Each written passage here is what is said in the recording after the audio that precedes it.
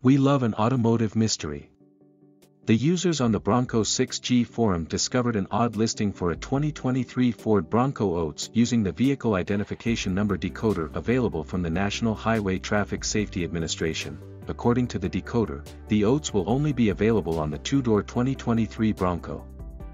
They will be identifiable from F4J, being the 5th through 7th characters in the VIN. Since the Bronco's revival for the 2021 model year, Ford has already introduced a bounty of additional trim levels and special packages that weren't part of the lineup at launch. The current range topper is the Raptor with a twin-turbo 3.0-liter V6 pumping out 418 horsepower, 311 kilowatts, and 440 pound-feet, 596 newton-meters, of torque.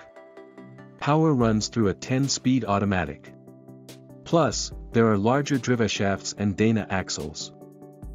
The 2022 Bronco Wildtrak is available with a new HOSS 3.0 package for customers who want to go off-roading.